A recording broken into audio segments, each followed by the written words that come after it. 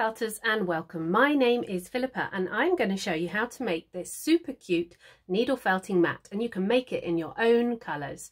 It's really easy to do. You dry felt it a bit, then you wet felt it and then you just have to wait for it to dry. I am so pleased with mine. Let me show you how to make one. So what I've got here is a carded bat. It is 200 grams and I used all of it.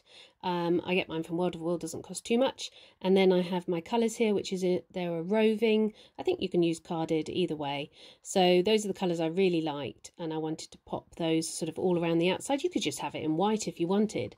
So what I've done here is I've taken probably about a fifth, maybe even a quarter of the 200 grams and I'm just shaping it into a really rough circle. This is not neat at the start and you're going to be doing quite a bit of felting. I have got a multi-needle tool holder there, which I'll show you in more detail. I've got a really good video on multi-needle tools, which I will link at the end or in the description. So we're just going to, see there it is, it's got four needles and it's the needles you put in it which make it work really, really well. Um, so we're just going to make this as circular as possible. If you want to do a square shape, um, I got um, most of the ideas of this off Fuzzywuzzie Crafts video. The way they did theirs, it's really good. I'll link it in description. They did a square one with a template. I just wanted to do a round one. So go and have a look at that video if you if you're looking to do a square one. So just literally, we're just going to keep felting it down. It took me in all probably about an hour and a half to two hours. My mat here was a little bit dirty, I noticed, because um, I've been doing a grey horse. So I just gave it a quick clean. Uh, it's really easy if you lose, use these lint removers to clean, especially this is a Woolbuddy mat I've got. And I'm going to link the eight different mats that um, I'm going to review and also how to clean them as well. But um, that lint remover does a fantastic job getting the bits off. So I then carried on and I'm going to speed up various bits of it so once you've got a base shape, take some more and just keep wrapping it around and trying to make sure that it's quite even. Um, it's not rocket science here. It doesn't matter if it's uh, too lumpy. We're just going to work through the lumps and then you can add bits of uh, the core wool to it afterwards. But yes, this just this is the bit that takes a while, and this has given me a real new appreciation for the Woolbuddy mat that's underneath. I can tell you that because the Woolbuddy mat is absolutely solid, um, and it must be made in a very similar way. So again, I've taken a load more, and as I said, I used up all 200 um, grams of the uh, carded bat I used a carded bat in particular because I think it's going to be easier to felt. And then the uh, roving or tops that I used on top, I thought gave it a very uh, sort of pretty look to it. But like I said, you could do it in any colour you want. So I'm just going to work it all the way over now. Now I'm fairly happy with the shape. You've got to work inwards to keep the edges quite chunky. And we're going to be adding some more to it anyway. So I spent quite a long time probably working over half of the wool here and then I'm going to add another layer and work that. I like the base to be, you know, fairly firm. So here we go, I've added some more and then I worked on adding um, the edges and making sure the edges were nice and thick because I didn't want it to sort of slope off too much towards the edge. And then we just keep working it again. And we're not i'm not needle felting this really firm just fairly firm. So it was about nine to nine and a half cent, uh, inches and then about two and a half inches depth. So that's what i had it at this point. And then we spend a little bit more time felting it down again. I'm sorry but it's just got to be done. These are the layers you've got to do to get a nice firm base so I've never wet felted before, so this was quite good fun for me actually. And I have to say, I really enjoyed it.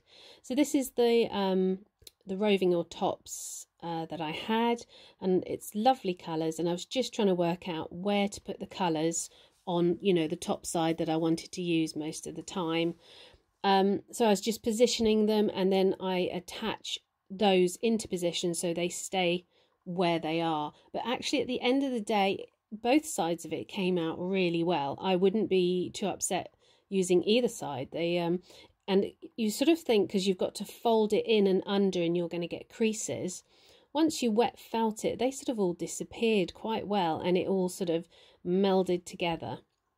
So I was just securing it underneath, folding in the edges as best I could. I can't do hospital corners. Nope, obviously not. And then, um, yeah, just sort of felted the rest of it in. And I used all of that, um, that roving or tops there. I kept a little bit back just in case I had a gap. Um, but I, I didn't actually have any gaps in the end, so I just added that last little bit that I've kept back, you'll see in a minute. And, you know, just start felting it down again. So like I said in all this probably took me about two hours and here I am going over that's the little extra bit I had but I didn't you know I didn't end up with any gaps. So you can see the colours starting to form here and it's not really firmly felted but it is all secured on. I mean people do wet felting and they don't actually needle felt the walls together it's, it's just through agitation so I didn't think I needed to felt it really firm and then when I finished it's just under the nine and it was about two inches thick. So I kept it quite thick because I really felt it would uh, thin out. So I've got a tray there. You could just do it on your sideboard your utility sideboard. And I've got warm soapy water. It was quite hot soapy water in there. And then I'm just using some washing up liquid as well. So I poured the water over it in bits. I was really quite tentative doing this, I'll speed it up. But I think you just soak it. um, and then I added a little bit more once I'd sort of covered all the areas.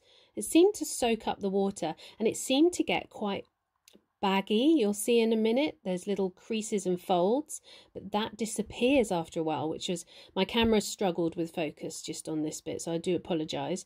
So I've soaked it then you get some soap between your hands and then start doing circular motions. And it was really good fun, really easy to do. Um, I was doing this for a good 15 to 20 minutes and you will notice a change in it. So see it's all quite baggy. Don't forget the edges. So I turned it over, did the other side. It looks like it's got a, it's like a loose skin at the moment, but that disappears after a while and it becomes firmer. So the soap's all on and then you start doing circular motions and you keep going, keep going, keep going. Um, the bubble wrap holds it really well and then I use the bubble wrap in a minute. Now the way I've heard that you tell if it's ready is you start to sort of pull it up and if it resists um, and doesn't seem to pull away then it seems to be felting together and I try it several times and towards the end it did get better. I noticed a definite change in it felt much firmer and all together. Um, it was a bit flatter. So I've folded the bubble wrap over. I've seen people do wet felting with bubble wrap and then I just helped that to agitate it a bit more and that seemed to work quite well. I was really happy with it.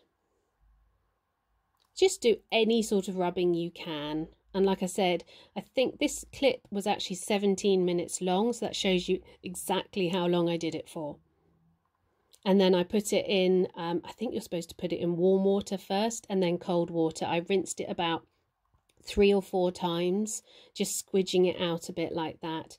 Um, I've heard people put it in their washing machine, I'm not sure. And then I put it out to dry. It's still quite wet here, so I squeezed it out a bit more.